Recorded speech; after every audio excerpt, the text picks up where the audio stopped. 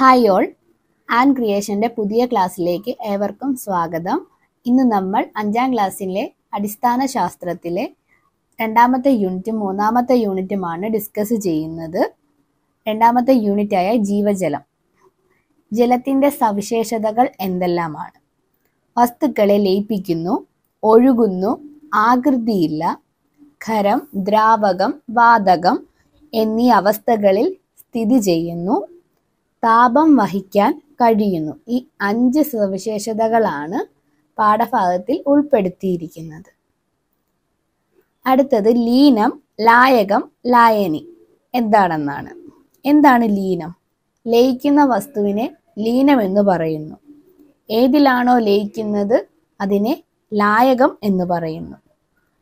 ലീനം ലായകത്തിൽ ലയിച്ചുണ്ടാക്കുന്നവയാണ് ലായനി. അതായത് ലീനവും ലായകവും ചേർന്നാണ് ലായനി ഉണ്ടാവുന്നത്. സാർവിക ലായകം ആരാണ്? ജലം. എന്തുകൊണ്ടാണ്? കൂടുതൽ വസ്തുക്കളെ ലയിപ്പിക്കുന്ന ലായകമാണ് ജലം. ഭൂമിയിലെ ശുദ്ധജലത്തിന്റെ അളവ് മൂന്ന് പോയിന്റ് അഞ്ച് ശതമാനമാണ്. എന്താണ് ബാഷ്പീകരണം?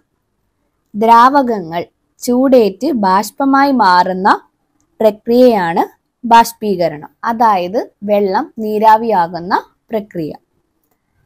സാന്ദ്രീകരണം. വാതകങ്ങൾ തണുത്ത് ദ്രാവകമായി മാറുന്ന പ്രക്രിയ. നീരാവി വെള്ളമാകുന്ന പ്രക്രിയ.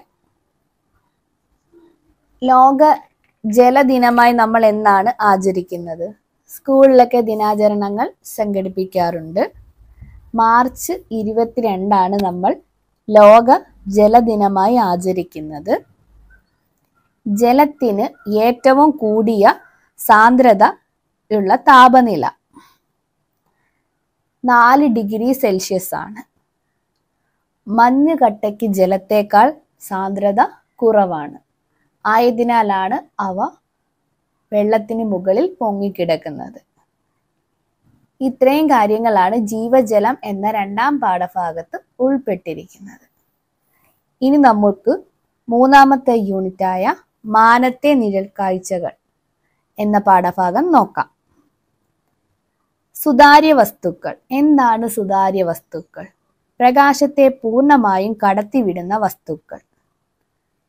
എങ്കിൽ അതാര്യ വസ്തുക്കളോ പ്രകാശത്തെ കടത്തിവിടാത്ത വസ്തുക്കളാണ് അതാര്യ വസ്തുക്കൾ അതാര്യ വസ്തുക്കളിൽ നിന്നും നിഴലുണ്ടാകുന്നു.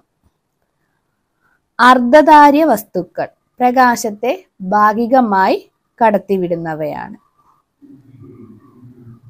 സൂര്യഗ്രഹണം സോളാർ എക്ലിപ്സ് എന്താണ്?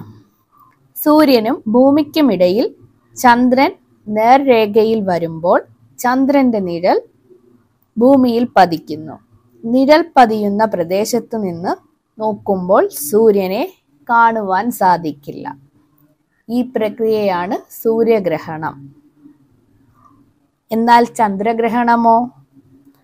സൂര്യനും ചന്ദ്രനുമിടയിൽ ഭൂമി വരുമ്പോൾ ഭൂമിയുടെ നിഴൽ നിഴലിൽ ചന്ദ്രൻ വരുന്നു. ആ സമയം ചന്ദ്രനെ കാണാൻ നമുക്ക് സാധിക്കില്ല. ഇതിനെയാണ് ചന്ദ്രഗ്രഹണം എന്ന് പറയുന്നത്. ഇത്രയും വളരെ കുറച്ച് കാര്യങ്ങൾ മാത്രമേ ഈ മൂന്നാമത്തെ പാഠഭാഗത്തും ഉൾപ്പെട്ടിട്ടുള്ളൂ. വളരെ ചെറിയ ചാപ്റ്റേഴ്സാണ് ഈ രണ്ടെണ്ണം. എല്ലാവരും നന്നായി പഠിക്കുക. Okay thank